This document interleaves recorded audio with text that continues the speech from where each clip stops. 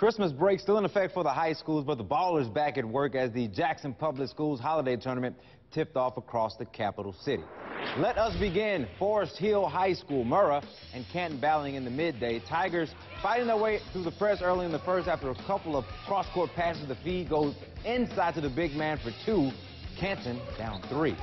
From there, Murrah would absolutely dominate. They forced a turnover here, and they're off to the races. Jonas James Jr. with a nice look to Billy Thompson, and the kid has springs in those shoes. The throwdown puts the Mustangs up seven in the first, and Murrah wins big by a final of 60 to 35.